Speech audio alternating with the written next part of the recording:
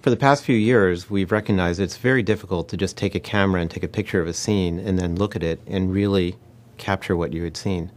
So instead, uh, with the ubiquity of video cameras and cameras everywhere, uh, we realized that taking lots of pictures, maybe a video sequence, maybe a lot of pictures taken with a still camera, uh, through the magic of computation, either on a machine or up in the cloud, uh, we can enhance the experience.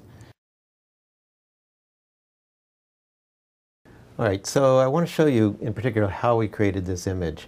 Uh, if you've lived in Seattle for any part of your life, you've certainly seen Mount Rainier. Um, and the first thing you might be asking yourself is where did this picture of Mount Rainier, where was this picture of Mount Rainier taken from? And I'll try to explain that. So if you look over here, um, what I'm going to show you is not just one input image, but many input images. I set up a camera in downtown Seattle, and this is what I saw through that camera. You'll notice because the lens was so long that the mountain appears to be shaking around. And that's because when you have a very long lens, it's almost impossible for the camera to stand still. In addition, the atmosphere, of course, makes things shake. And here we took all those images and used the computer to align them so that it doesn't shake so much. But you can still, if you look carefully, you'll see the atmosphere is shifting around and all the pixels are changing.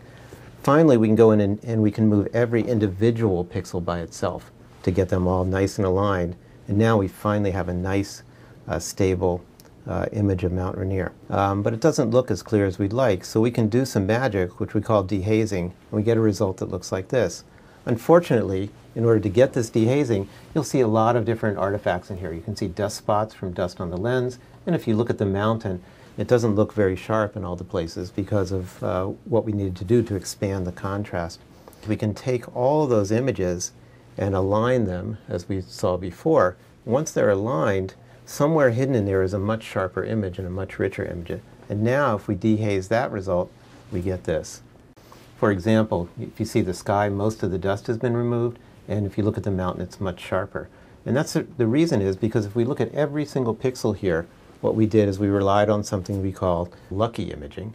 It's something we borrowed from the astronomy uh, field, where when they look at stars, uh, even though you know you see stars twinkling at night, that's because the atmosphere is moving things around.